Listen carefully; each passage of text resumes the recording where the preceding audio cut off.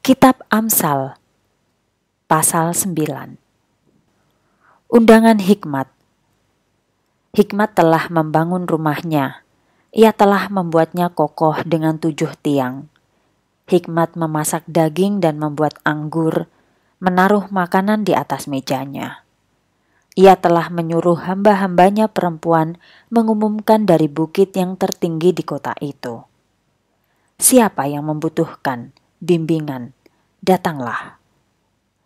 Ia mengundang semua orang sederhana, katanya.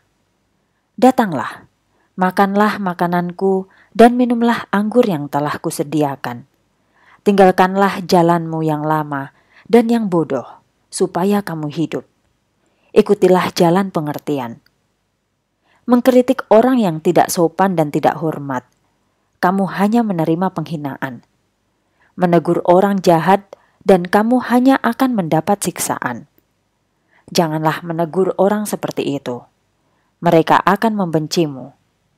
Tetapi menegur orang yang bijak, mereka akan mengasihimu. Ajarlah orang bijak, mereka akan menjadi lebih bijak. Bimbinglah orang yang hidupnya benar, dan mereka akan memperoleh lebih banyak lagi pengetahuan. Hormat akan Tuhan adalah permulaan hikmat. Pengetahuan tentang Yang Maha Kudus menuntun kepada pengertian. Hikmat akan menolong engkau untuk hidup lebih lama. Tahun-tahunmu akan ditambahkannya kepada hidupmu. Jika kamu menjadi bijaksana, itu adalah untuk kebaikanmu sendiri. Jika kamu tidak sopan dan tidak hormat, kamulah satu-satunya yang akan menderita. Kebodohan perempuan yang lain Kebodohan adalah seperti perempuan yang lain, yang cerewet, bodoh, dan tidak tahu apa-apa. Ia duduk di kursinya dekat pintu rumahnya, di tempat tertinggi di kota. Apabila orang melintas, ia memanggil-manggilnya.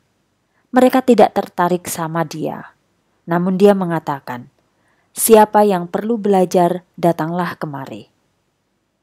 Kepada mereka yang tidak mengerti, dikatakannya, Air curian rasanya lebih sedap daripada milikmu sendiri, dan roti curian lebih enak daripada roti buatanmu sendiri.